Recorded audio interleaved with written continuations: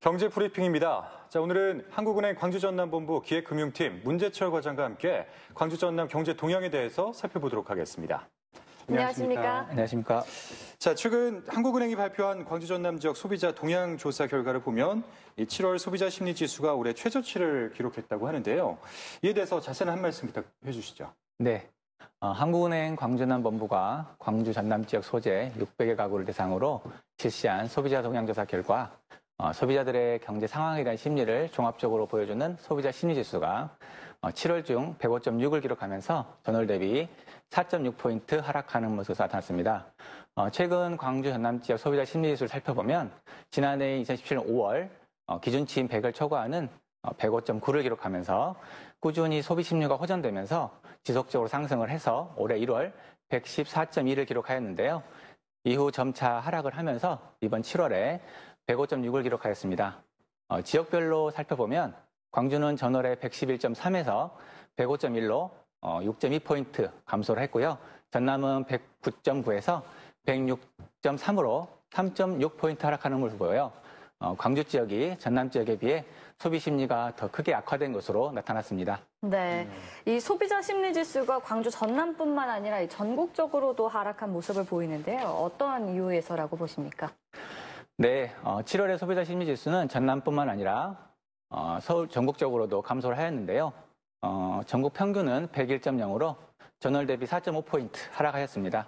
이는 미국과 중국의 무역 분쟁과 국제유가 상승 그리고 어, 국내 주가 하락 등 국내의 경기가 다소 부정적인 상황 때문이라고 보여집니다. 또한 우리 지역의 경우 어, 보호무역주의 확대에 따른 자동차의 관세 부과 그리고 유럽연합의 어, 수입 철강 제품에 대한 어, 세이프가드 도입 소식 등으로 어, 자동차와 철강과 같은 우리 주력 산업에 대한 부진이 우려되면서 지역 경기에 대한 기대 심리가 전반적으로 위축되는 모습을 보인 것으로 분석이 되었습니다. 네.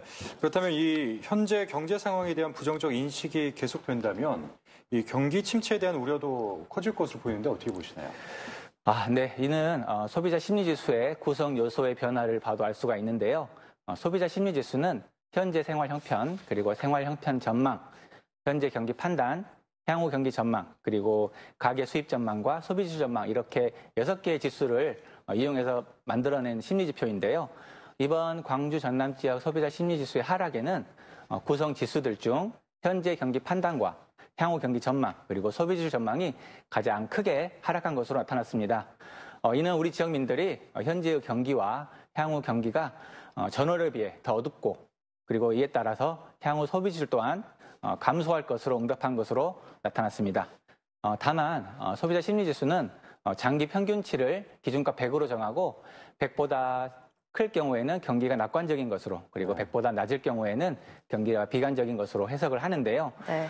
이번 달 소비자 심리 지표가 비록 하락은 하였지만 기준치인 100을 초과하고 있는 점은 어, 긍정적인 것으로 볼 수 있겠습니다. 네. 네. 어, 향후 지역 경제와 이 소비자들의 소비 심리 어떻게 보시고 또 어떻게 풀어나갈 수 있을지. 네, 어, 최근에 국내외 경제 상황을 살펴보면 어, 보호무역지 확대와 이에 따른 글로벌 무역 갈등 그리고 주요국의 통화 정책의 정상화 그리고 유가 상승 등의 부정적인 불확실성이 존재를 합니다. 이에 따라 어, 우리 지역의 주력 산업에 미치는 영향도 부정적인 것이 사실입니다. 또한 미국의 기준금리 인상에 따른 국내 대출금리 상승 압력으로 가계의 금융 부담도 커질 것으로 전망이 되면서 지역의 소비 심리도 당분간은 부진을 보일 것으로 보입니다.